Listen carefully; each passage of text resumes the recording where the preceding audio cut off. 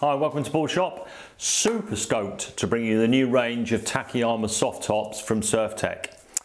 What is a soft top? A soft top, soft top mm, is a hard epoxy board, similar construction to what you'd get in the normal Takayama range from uh, Surftech, but with this soft foam wrap over the top of the board.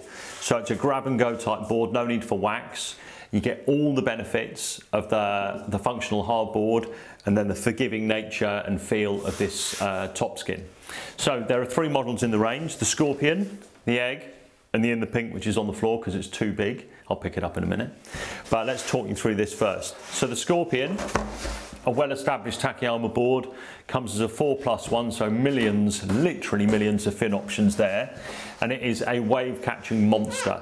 You can see the width across the front of the board here, flattish rocker, double concave through the fins to loosen up a little bit, but this thing will catch waves in any conditions. Good wave range too, from thigh to overhead.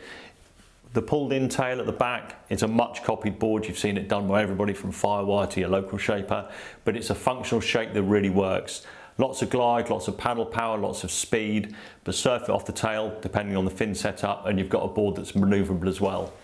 The egg is for your mid-length fan. Um, if you want a very high wave count in a competitive lineup, compete with the longboards and what have you, the egg is the way to go. Again, much copied, never bettered.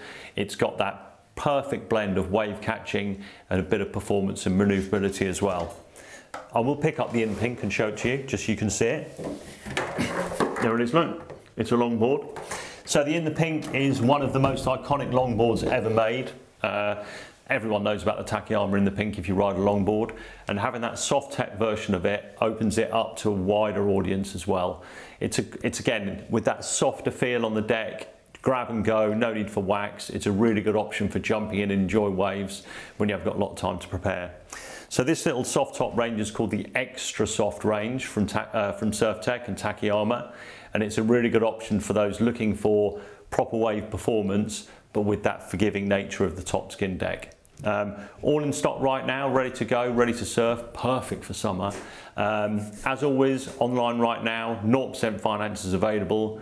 Trade in your old boards against it and check out our ride out guarantee to make sure you never get set, stuck with the wrong board. There it is. Thanks for watching.